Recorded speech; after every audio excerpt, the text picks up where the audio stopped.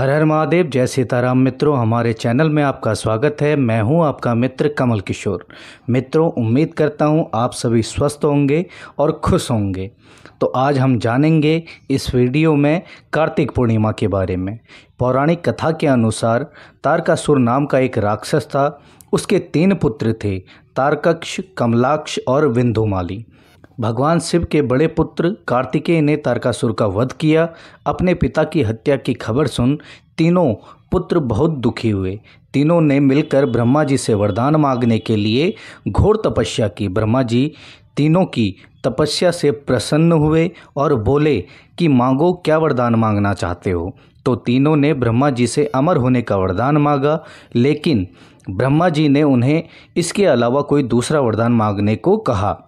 तीनों ने मिलकर फिर सोचा और इस बार ब्रह्मा जी से तीन अलग नगरों का निर्माण करवाने के लिए कहा, जिसमें सभी बैठकर सारी पृथ्वी और आकाश में घूमा जा सके। एक हज़ार साल बाद जब हम मिलें और हम तीनों के नगर मिलकर एक हो जाएँ और जो देवता तीनों नगरों को एक ही बाण से नष्ट करने की क्षमता रखता हो, वही हमारी मृत्यु का कारण हो। ब्रह्मा जी ने उन्हें ये वरदान दे दिया।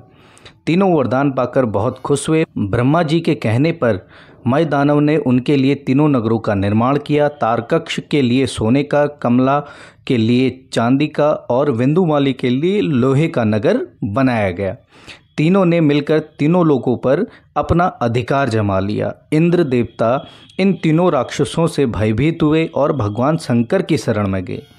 इंद्र की बात सुन भगवान शिव ने इन दानवों का नाश करने के लिए एक दिव्य रथ का निर्माण किया। इस दिव्य रथ की हर एक चीज़ देवताओं से बनी, चंद्रमा और सूर्य से पहिए बने, इंद्र, वरुण, यम और कुबेर रथ के चाल घोड़े बने, हिमालय धनुष बने और शेषनाग प्रत्यंचा बने। भगवान शिव खुद बाण बने और बाण की नोक बने अग्निदेव।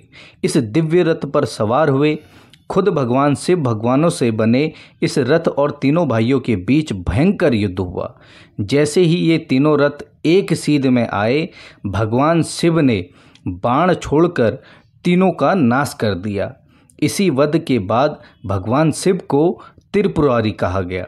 यह वध कार्तिक मास की पूर्णिमा को हुआ, इसलिए इस दिन को त्रिपुरी पूर्णिमा भी कहा जाता है। मित्रों, यह थी एक छोटी सी कथा। उम्मीद करता हूँ हमारे द्वारा दी गई जानकारी आपको ज़रूर पसंद आई होगी। मित्रों, चैनल को शेयर और सब्सक्राइब ज़रूर करें। हम आपके समक्ष जल्द प्रस्तुत होंगे एक ऐसी ही कथा को लेकर। धन्यवाद। इष्टदेव, सदा सहाय हों।